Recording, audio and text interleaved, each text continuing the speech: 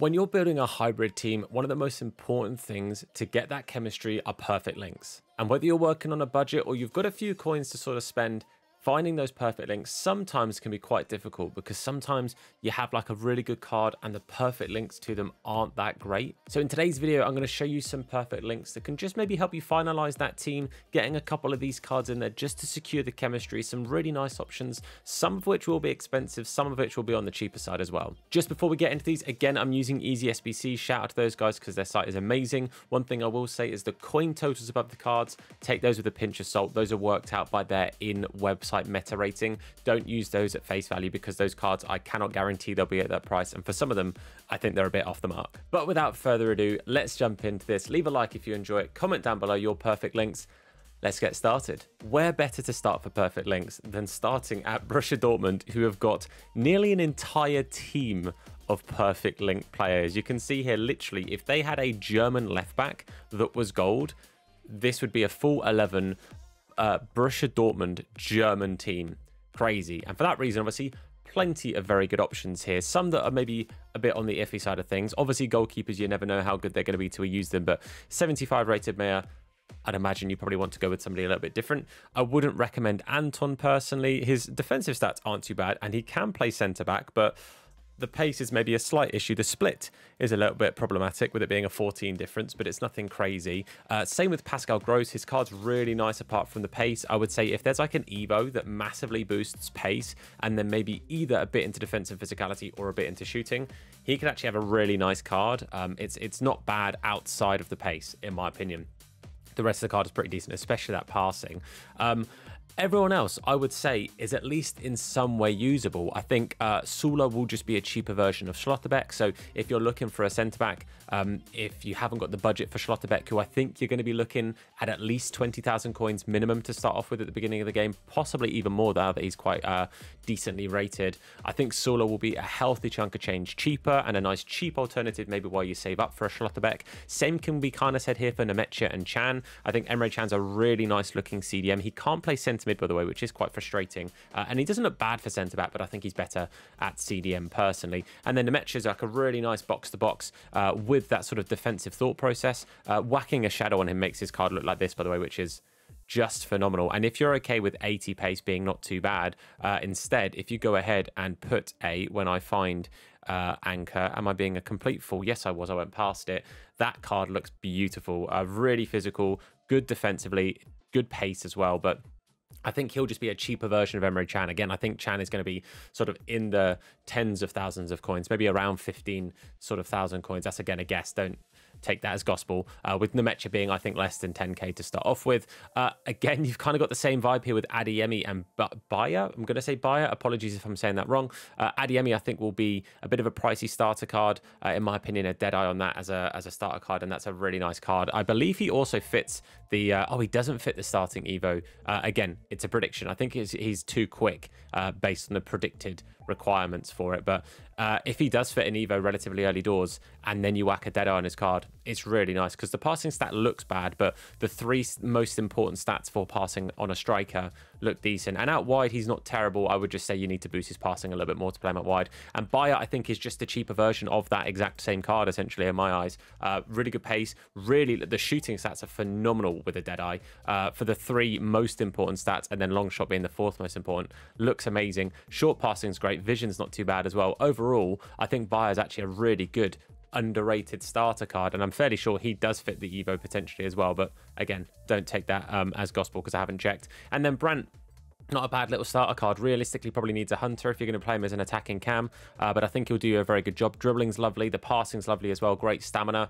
There are some fantastic options at Dortmund, some of the best options. If you're running either part of a Bundesliga team or you've got like three spaces you need to fill, as long as they aren't fullbacks, in my opinion, then I really do think you've got a really good plethora of choices here. Some that will be budget and some when you've got a few coins to spend. Another team with some great options that will be on the pricier side of things are Arsenal. Uh, and don't worry, I know I've mentioned Trossard in basically every single video that's existed, and technically I've mentioned him again, but he's not in this one. Uh, you've got uh, yourself a Brazilian trio, an English trio, and a Spanish duo here. I'll start off with the Spanish duo. Raya, obviously, again, I don't know how good keepers will be, but in my opinion, Raya is one of the best starter-looking keepers uh, for the Prem. I think he looks really good uh, stats-wise. I think he'll be a bit of a budget just because he's Premier League, he's Arsenal, he's Spanish, he's got plenty of really healthy links. And as long as he's half decent in game, I think he will be good. He is six foot, which for a keeper is a slightly shorter uh, keeper, but hopefully it won't be that problematic. And I really do think his card looks very nice for the start. And he's got that perfect link to Merino, who will be expensive. He will be pricey. He'll be a lot more than the 9,500 coins set above his head.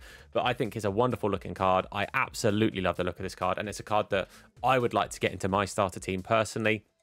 I think he looks phenomenal.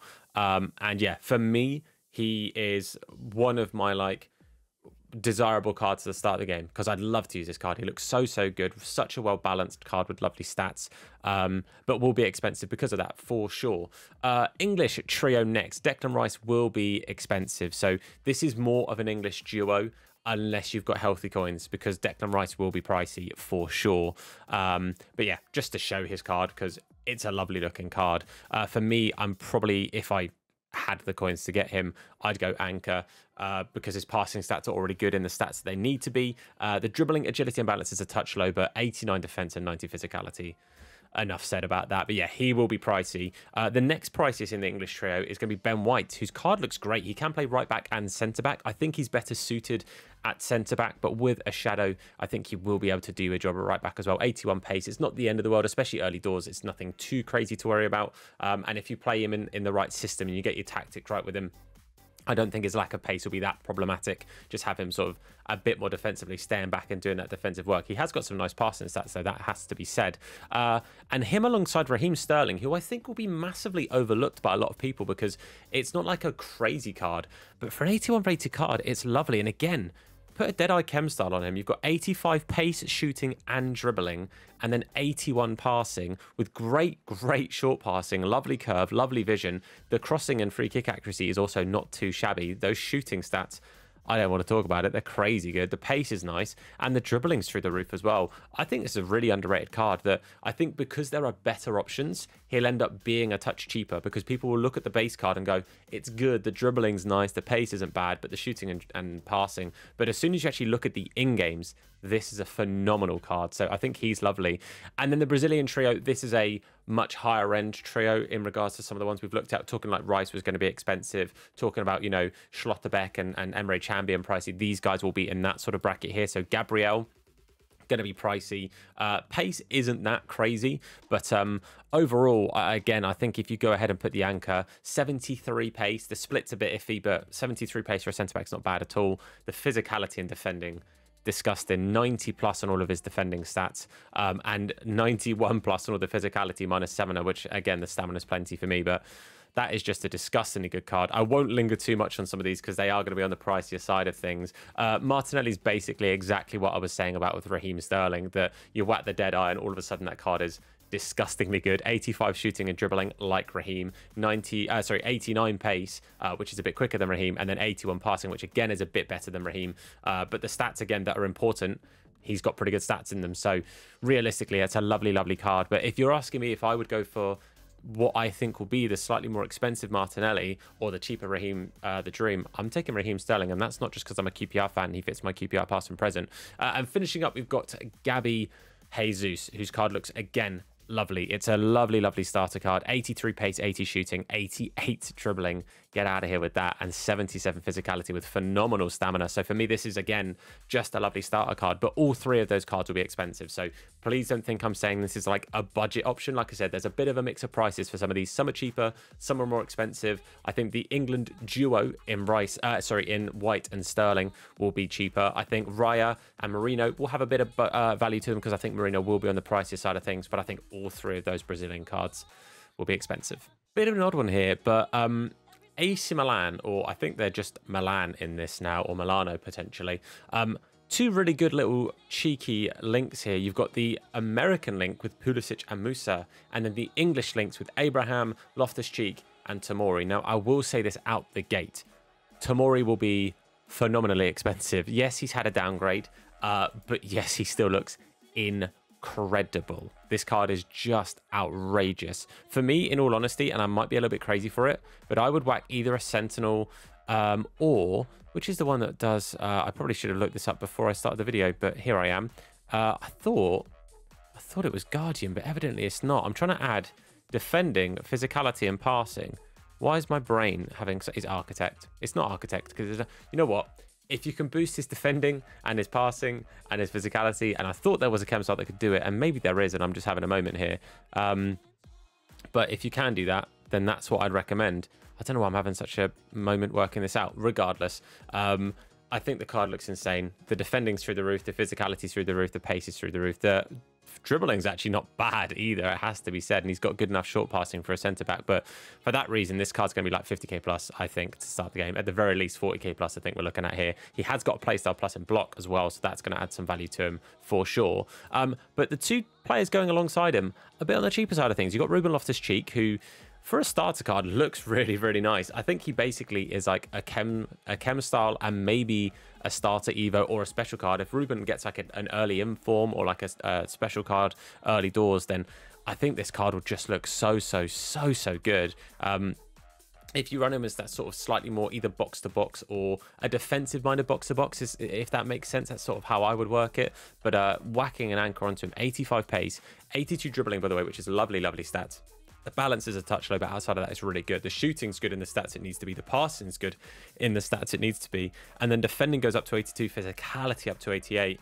It's a lovely card. It really, really is. Um, and to make it a slightly cheaper addition to that duo, and I will show you very quickly, I will show you Tammy's uh, Evoed card because I think it is important to consider sometimes um, when you're building these starter teams what your building towards, I think, at times. And I think that's easy to look past. But Tammy Abraham, is he the best option for this Evo? No, I don't think it is. And if you want to see some of the best options, check out my most recent videos because I did one where I look at all the best options in my opinion. Um, shameless plug. But uh, this card is not bad. And if you're looking to run, like, let's say a Chelsea past and present, um, or let's say you're looking to run a Serie A team, or you're a Milan fan, or anything like that, this is not a bad shout the passing's a touch on the low side, the dribbling's a touch on the low side in agility and balance, but really good elsewhere. The stamina's a touch low, granted, but again, I think with future Evos, that probably will get improved. Overall, it is a really nice card, and yes, you're not adding this card to your team, you're adding this card to your team, and it is worth bearing that in mind. Overall, though, I don't think this is a bad starter card. Uh, that's kind of, this is where this link is coming into it. Abraham and Ruben, really nice together as a starter link. Uh, the reason I've included Tomori in there is because he also links. But if you're budgeting to use Abraham, you're not buying Tomori. If you're buying Tomori, you don't need to budget to buy Abraham. I hope that makes sense. So this is kind of like this is a duo and this is potentially a duo. I wouldn't run this as a trio because these two just don't make sense coin wise to be in the same team. But I think that Abraham's a decent enough starter card.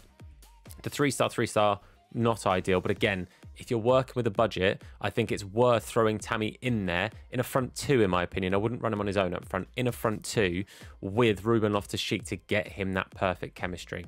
Hope that makes sense because that one was a bit long winded, but there's reasons why I've included them because I think they're still good enough. This American duo, however, Yes, please. I've talked at length about how good I think this Pulisic card is. I think he is unreal theme of the day, whack a dead eye on the card and the card becomes unreal because it does. That card is disgustingly good. 88 pace, 89 shooting, 84 passing, and 86 dribbling. 76 stamina, stats basically, and every stat that he needs to be good at, he's good at it. That's the way to word it. Four star, five star as well. Can play on the left or the right. It's a phenomenal card, uh, and it's a card that I absolutely love. Uh, it must be said. Uh, and when you look at this Musah card as well, he's not too shabby, you know, and he's kind of suitable to play either defensively or offensively. Um, again, if you go ahead and just just boost the stats that that are needed, like a powerhouse, for example. You've then got 78 defending and 78 passing. He's already rapid. His dribbling's already quite nice. He's already physical. The only thing then he's missing is a bit of shooting. But if you're running him defensively, that doesn't really matter. If you're choosing to run him offensively, then you could go with a Deadeye, and his defending then is the thing that's sort of lacking a little bit. So, in, in my opinion, you boost at least two of the defending, shooting, passing stats on this card and play him in the way that you think that card then dictates. Because it's a lovely starter card. I really do think that he is very viable for the start of the game. And whacking him with Pulisic to get that perfect link, one more Serie A player from any team in the Serie A, and those two are guaranteed chemistry. So as long as that third player links to other people in your team as well, then that's an easy little duo to put in. And I think a really nice duo as well. Now, I have plenty more of these where I've got uh, loads of teams from the Prem that I've done. I've done some teams for the women's leagues. I've done some teams from other big leagues and some of the smaller leagues. If you'd like to see some more of these, then comment down below and I will do my best to find some. But I think it's really important early doors to find these sort of options because while we're all working with lower budgets, and I know sometimes people will say, oh, you're never going to use these teams, you're never going to use these cards. Some people will have to, myself included. I will be saving my coins as much as I can to go towards my QPR team. I had so much fun building an entire QPR team last year, past and present.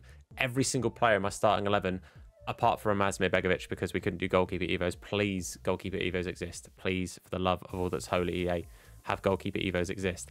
Uh, but, you know, it's it's so nice to end the game with like a full 95 rated plus squad. I've had like four or five 99 rated cards in that QPR team. So it's so sick. I love it. Please keep doing that, EA. Um, and yeah, I'm saving all my coins for that. So it's helpful for me to find these cheap options to build a super cheap budget team to sort of use while I'm boosting and upgrading my QPR squad. That's the way I work it. That's the way I look at it. Hope that makes sense. But if you enjoyed this, leave a like on the video, comment down below for other ideas. And if you want to see more link videos like this, hit the sub button and turn notifications on to be told anytime that we upload a video. But for now, guys, thank you for watching. I've been Tom. You guys have been awesome. And I'll see you soon. Look after yourselves. And of course, wash your hands. Take care.